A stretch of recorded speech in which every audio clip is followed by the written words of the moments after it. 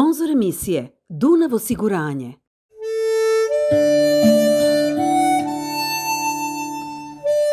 U selu Dragoraj, opština Ribnik, posjetili smo Sladojeviće, prepoznatljive proizvođače pikantnih sireva, mlado kajmaka, zdravih žitarica. Malo porodično gazdinstvo koje vode tri generacije.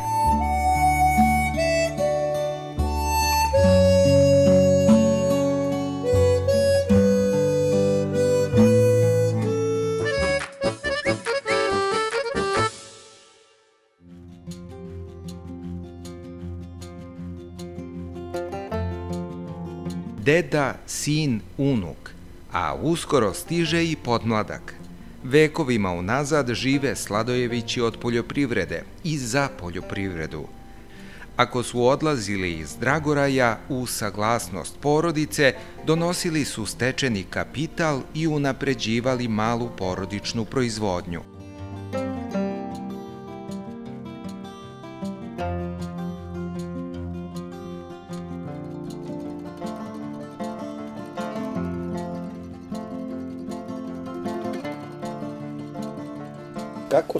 Onda vaši roditelji gledali kada vam a, muška glava Pa odlazi dobro. na rad u Nemačku, mada jesu drugi neki uslovi života bili, ali kako je to onda bilo? Pa nije im bilo lako, sam otišao, ali ja tada nisam imao ni puta ovde, ni struje, nisam imao ni vode, nigde ništa. Onda sam sam ja porazgovarao, ajde, otišao, idem na godinu dana da vidim i tako je to teklo do penzije. Generacijski mi se ovdje nalazimo šest koljena. Naš Čukund je doselio sa Patova Manjače i počeo se baviti ovdje poljoprivredom. Dalje se nastavilo koljenima trenutno. U mojoj kući se nalaze tri generacije. A uskoro će, ako da Bog... Ako da Bog, uskoro i četvrta generacija stiže. I podmladak će da živi u zdravom okruženju na visoravnima na kojima Sladojevići proizvode skoro sve – Za uspešno bavljenje stočarstvom i proizvodnju organskog mleka i mlečnih proizvoda neophodna im je zdrava hrana. Njihove krave leti pasu, zimi jedu samo seno, ne koriste koncentrate i silažu.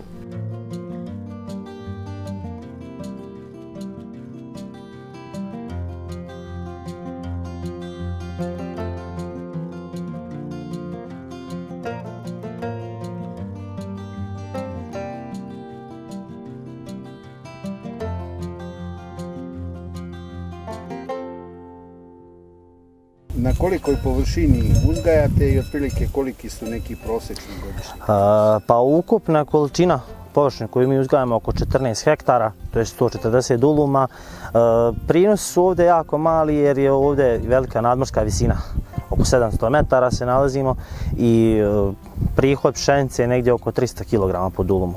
Spelite od 200 do 250 hiljda, do 150 preko ne prelazi. Recite mi gdje plasirate svoje proizvode? Svoje proizvode najviše prodajemo vrata do vrata, to jest naša dostava Banja Luka, Mrkonjić, Šipovo, čak širom BH šaljemo brzom poštom sve svoje proizvode. Od pojave pandemije virusa korone naša proizvodnja se čak povećala i potražnja je duplo veća nego što je bila prošle godina. Narod da li od straha, od toga svega okreće se zdravom životu i sve više i više traži naše proizvode koji su potpuno domaći bez primjesa gnjojiva, prskanja, pesticidima, bilo čega.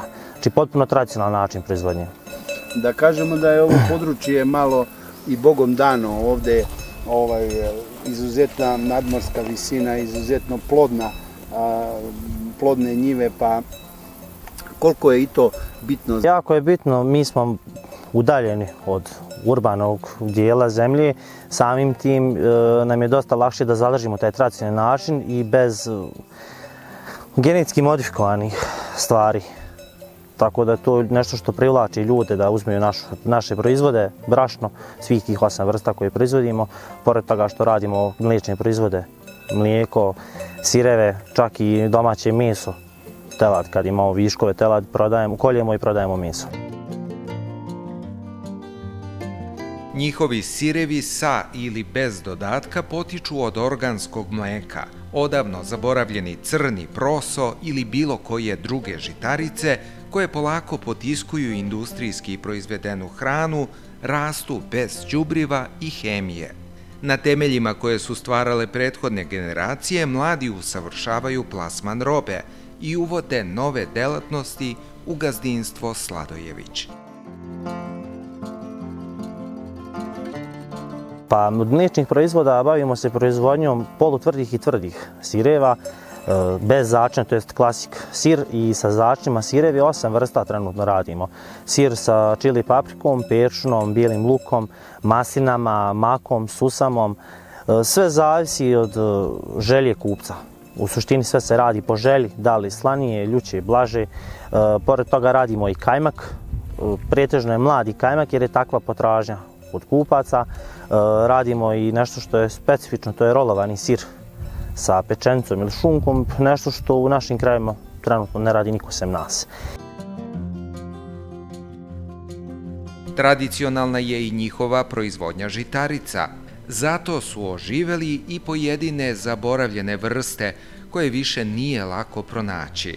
Možda prinosi nisu veliki zbog specifičnih uslova i nedostatka agrohemijskih mera, ali baš zbog toga su postali vrlo traženi. Treća generacija Sladojevića uspela je i da tradicionalnu proizvodnju uklopi sa savremenim načinom komunikacije i prevoza do potrošača. Zemlja na kojoj proizvode žitarice samo je deo njihove svojine. Nešto što po čemu smo specifični je crno proso. Možda čak smo jedini u BiH koji posjedimo tu žitaricu. E, ja sam je lično nabavio iz Hrvatske od kolege koji tamo proizvodi i nastavio sam ovdje da sijem i da...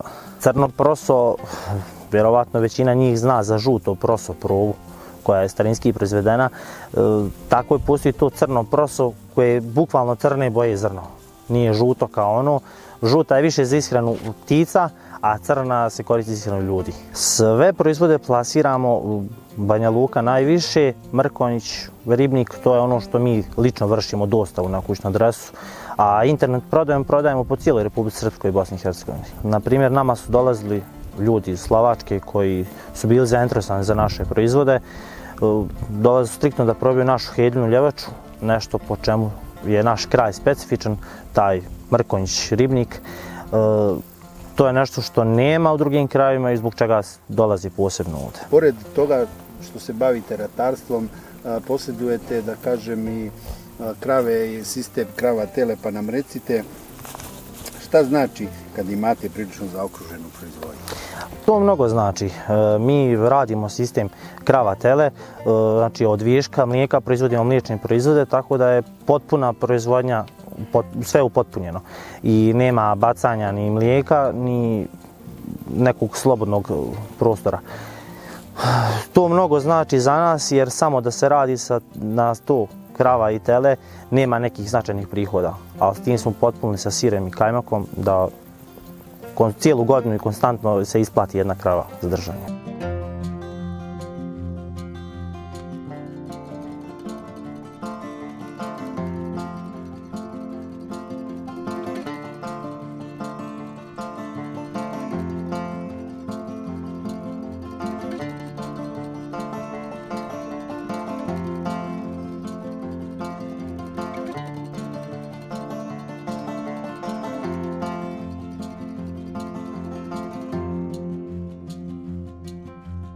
Koliko trenutno krava imate na muži i koja je rasa u pitanju? Trenutno imamo 12 krava, ukupno na muži je nekih 7 otprilike. E, kod nas su većinom mješavine. Ima simental, imamo jednu bušu, starinsku bosansku kravu, e, nešto ima holštajna, uglavnom većina je mješavina.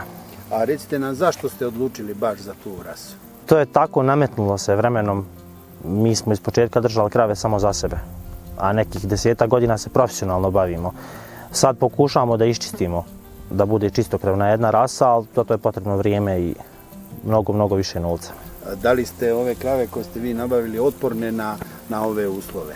Da, to su krave koje su otporne, to su krave koje su, e, da kažem, rođene i othranjene na našem gazdinstvu i e, one su jednostavno navikle na, ovaj, na ovu nadmorsku visinu i na ovo podnevlje vidimo ovde sve su čobanice zategnute. Malte ne, ova krava pase travu koja ima lekovita svojstva, samim tim je i svakako dobro i mleko. Da, tako je. Samim tim što smo na tako velikoj nadmorskoj visini, nema e, korova nekog opasnog, sva je trava specifična i ljekovito bilje, tako da i naše mlijeko i naši sirevi imaju posebne ukuse i posebno dolazi do izražaja kod ljudi koji ih probaju. Sa pašnjacima i njivama obrađuju oko 25 hektara. Nije sve njihovo imanje. Uzimaju zakup i ona koja su odavno napuštena. U njihovoj blizini zemlja ne propada, a za to im je potrebna i mehanizacija. Od kada je deda Milija penzioner i porodici i komšijama pomaže u održavanju mašina. Posjedujemo dosta mehanizacije, pa trebalo je nam još nekih, nekih mašina, ali vremenom prikupljamo sve što je moguće. Što se tiče za opravku motora, zato nisam stručnjak, se tiče varenja, bilo čega, ja im stojim na raspolaganju svaka doba, to i moje komšije sve znaju, jer ovdje je daleko grad, ne mogu nigde ništa, a ovo naše mašinerije sve održavam ja. Sada najstariji Sladojević sticao je iskustvo na nemačkim železnicama i dan danas je spreman da pruži mnogo više od novca da pomogne svojoj porodici, ali i narodu. Vi ste 40 godina radili Radi, u Njemačkoj. Jeste, kod Njemačke željeznica. I šta ste radili, na kojim poslovima? Ja sam radio kod Njemačke željeznica, bio zavarivač, elektro i termitno zavarivanje brzi pruga i održavanje skretnica. Recite nam, a, pored toga svakako da je u to vreme kada ste vi bili, Nemačka bila da kažem, u nekom razvoju posle drugog svjetskog rata, Jeste. pa su radili i u svim drugim delovima sveta. Ja sam e, radio negde u Njemačkoj sve do 90, do 2004. godine. 2004. otišao sam na Tajvan, radio na Tajvanu za njemačke željeznice, pošto je Njemačka zauzela je veliki projekat i onda je otišla na šest da radimo tamo i završili smo prugu sa iz, iz početka, ozdao sa, sa juga na sjever sve do glavnog grada Tajpeja radili smo te pruge. Ja, moj rođak, ili moj rođak i ja i još četiri druga radna kolega. Radili smo tu do godinu i po dana. Možemo reći da sav, da kažem, taj neki kapital koji ste vi zaradili tamo, ipak ste ulagali ovde. Sve ovde. I kupovali neke, da kažem, mašine poljoprivredne da bi vaše buduće generacije mogle da... Da opstanu, Da da, bi održali ovo domaćinstvo. To mi je najveći interes u mom životu. Da se ostane ovde, da se ovo ne ugasi. Jer e, pare nisu bogatstvo. Bogatstvo je ovo naše domaćinstvo ovde, naša zemlja i, i naš posjet. To nije neki veliki kapital, ovako koji drugi račun, ali za mene je jedan veliki kapital, veliko bogatstvo. Imam unčat, ako dadne Bog imaš i preunčat. Ima nas dosta, hvala Bogu ovde. Ali čuli smo da i dan danas a, radite barabar sa sinom i sa unukom. Pa sad, sad sam doća, hvala Bogu, zdrav, pomognem sve što treba. Mogu još sve fizičke poslove da radim. Ja bi radio i sada kad bi trebalo neđe, pomogao bi, kad ne, ne treba Srbiji pomoć, ali kad bi trebao stručnjak, sutra bi išao varit neku prugu zavarivati gdje treba bez pare dinara, jer to, to je Srbija zaslužila. Povratkom u zemlju došao je Milija na stari novi posao, lako se uklopio. Saglasni su Sladojevići da u savremenim uslovima ne odstupaju od načina na koji su njihovi preci proizvodili hranu. Kako napreduju u svakom pogledu, tako žele i drugima. Sloga svih generacija koje trenutno vode poljoprivredno gazdinstvo ogleda se i u pogledima na budućnost. Uklapaju se želje i mladih i starijih.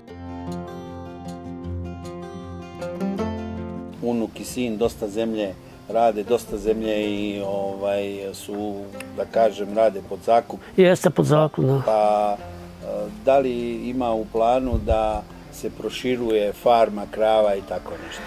Pa pokušao najveći problem, sad moramo napraviti jednu veću štalu. Jer sad momentalno tri štale, 12 krava, ono, i to ne malo problem pravi. Ako uspijemo da napravimo jednu veću štalu, on će proširiti i da imamo veće stado krava. Imate li utisak da se dosta sade bolje živi na selu nego kao što je nekad? Pričamo što se tiče zamena mehanizacija, ranije se i kopalo i ručno, i želo, i kosilo. Koliko je to danas Pa sad je, mora se reći, a ovako sad procam malo to teško, ali 70% sad lakše živiti na selu nek nekada. Ne, ne žanje se ručno, ne kosi se ručno, ne kupi se ručno, imamo balirke, ima, neki ljudi imaju čak i ove E, nove, nove, nove balirke, još više olakšalo im život. Mi nekada pre 40 godina nismo imali vode ovde u kućama, nismo imali kupatila, čak nismo imali struje. Danas, hvala Bogu, sve imamo. Sve imamo. Samo narod leti. Težek je život na gradu za ljude koji nemaju dobar posao. Vrlo težak. Samo treba se malo više posvet poljoprivredi. Može se živiti ako se malo vodi računa, ali rad se mora. Gde god će očiti bilo kojom, koju, e, koji kontinent radi se mora da bi čovjek opstao da živi. Bez posla nema ništa.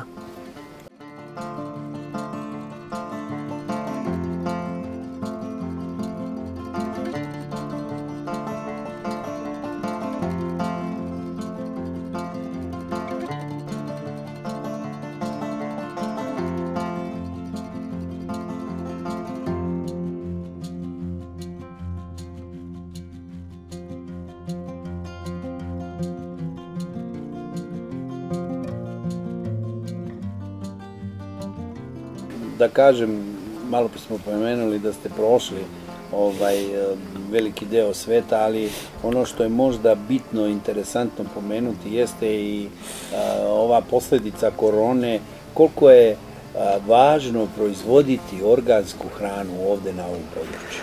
To je na prvom mjestu se proizvodi organska hrana. Mi ovdje što proizvodimo, sve proizvodimo ono kao što su prije 100 godina proizvodili. To je bila kruška ili bilo čega ne proće se ništa, sve proizvod nije stoje velike količine, ali s količine zdrave. Jer naše krave ne mogu dati na ovom brdu o, o, veliku, veliku količinu o, mlijeka, ali je kvalitetno mlijeko. Mi nemamo silaže, mi naša, naše njive ne sipamo umjetno gnojivo, već nakon koliko ima, toliko ima. Mi puno hektara pokosimo da bi 12 krava izranili, a da stavimo umjetno gnojivo, daleko bi manje, ali mi to nećemo da radimo. Niti nam je potrebno. Ja sam od postanja bio taki da sam protiv umjetnog gnojiva i protiv prskane bilo koji žitarica. Mi to ne možemo raditi, ni to ćemo da radimo. Jer zdrava je hrana, sve što je proizvedeno ovdje je zdravo. I sve se proda, da kažem. Pa proda se, hvala Bogu, sve što možemo, onaj, naručbene su velike, mi što uspijem, mi ne moramo veliku količinu da odmah da isporučimo, ali ovo nije neka industrijska proizvoda koja je vezana lančano. Ovo je mala, manja, manja, manja poljoprivreda, malo kapaciteta, i, ali sve uspijemo prodati što proizvedemo. Da li imate možda neki savjet za neke mlade poljoprivrednike koji bi sad krenuli da se bave nekim poslom iz oblasti poljoprivrede? Dobro, njima je početak vrlo težak, ali ako ti mladi nisu nušli mali nogu, malo je to teže, ali trebali bi, vidi se kakva je situacija u svijetu, trebalo bi se više povesti računa o, polje, o poljoprivredi da, da bi ljudi bilo šta proizvodili da živi, a ne samo da sedi danas negdje u parku i gleda okle će dobiti, šta će dobiti, nema. Bez rada nema ništa. A recite mi ovo, da kažem, područje ovde, Bogom dano faktički može da se proizvodi i zdrava hrana i vidimo ovde i dosta voća, vidimo svega. A, da li mladi ljudi mogu sa nekim zasadima maline, jagode, e, da izdržavaju svoju porodicu? Može, vrlo lako može. Početak je malo težak, ali to se isplati.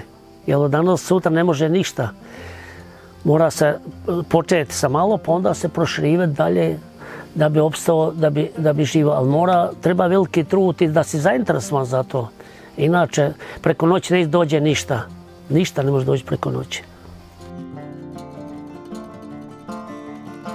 Isto misli i njegov unuk. Njegov život i rad započeli su u drugačijim uslovima. Deda i otac omogućili su mu da ostane svoj na svome, što je on zdušno prihvatio. Ovde sam rođen, odrastao sam, od malena sam se bavio sa ocem poljoprivredom.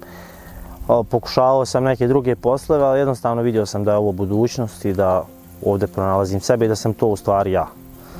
Tako da sam odlučio da ostanem. Prošle godine sam se oženio, trenutno čekamo dijete, ja i supruga. E, što je najbitnije, i ona je zainteresovana za, ovu, za ovaj život i ima želju da tu ostane i da to radi. Da li mladi poljoprivredni proizvođači e, imaju neke posebne posticaje? Trenutno nemaju.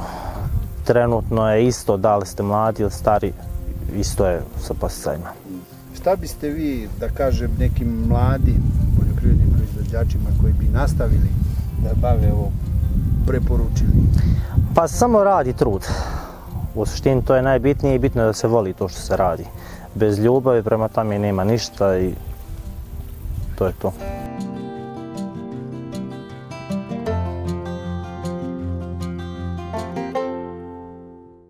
Ljudi svojim radom grade svet. Učitelji nam pružaju znanje. Doktori nam daju nadu. Zidari nam kuće grade. A domaćini, uprko suši, vetru, gromu, kiši, oni su spona između preoranih njiva i trpeze pune hrane. Sve nas hrani naš domaćin. Dunav osiguranje poljoprivrede.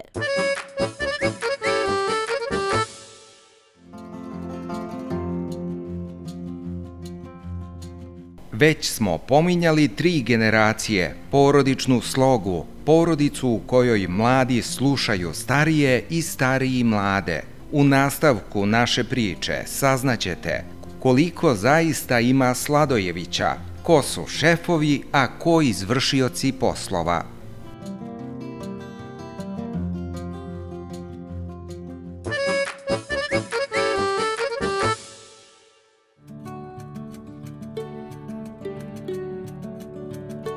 Ukupno nas je šest u kući, u porodici, deda, baba, otac, majka, ja i supruga. Tu nam uspomoć, u pomoć dolazi moja sestra koja je trenutno završava poljoprivredni fakultet. Njena pomoć nam mnogo znači. Prvo je sa stručne strane, drugo je pomoć fizičke koja je potrebna u našem poslu jer jako puno posla imamo. Recite mi, ko je u porodici za šta zadužen? U suštini svi znaju svoje zaduženja. Majka i supruga su zadužene za pravljenje sira. Eh, otac i ja radimo ratarske te poslove, kupljenje sjena, oranje, sijanje, štalo oko krava isto radimo nas dvojica. Pošto posjedujemo i komba i vršimo usluge, uh, usluge ževenja, uh, eh, to nas dvojica radimo, ostalo ovaj, u suštini sve se dogovaramo ujutru kako šta. Koristili su Sladojevići subvencije opštine Ribnik kao i Ministarstva poljoprivrede Republike Srpske. Svaka pomoć im je bila dragocena, ali morali su dosta da se oslanjaju i na sobstvene snage, što su nam i deda i unuk poručili u svom viđenju proizvodnje hrane, života na selu i odnosu prema svakom poslu.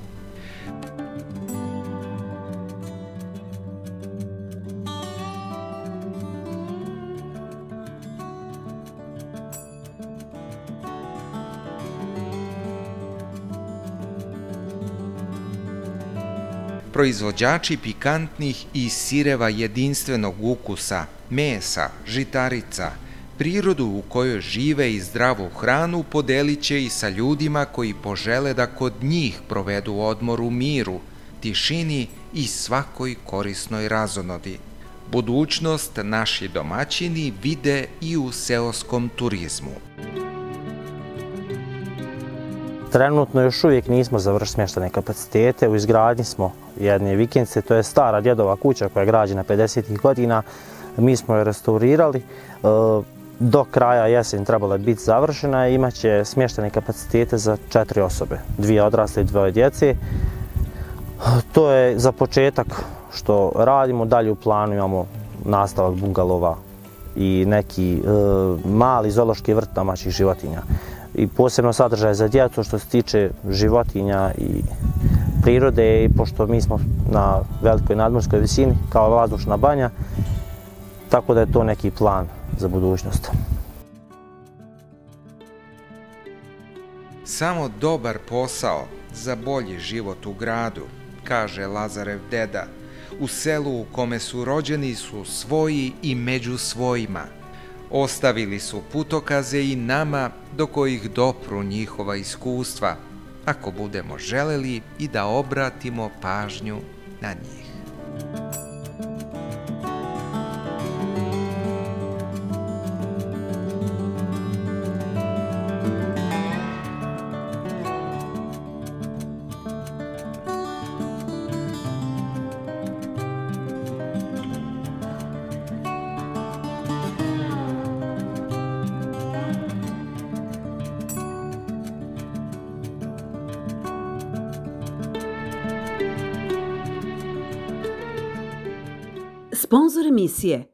Osiguranje.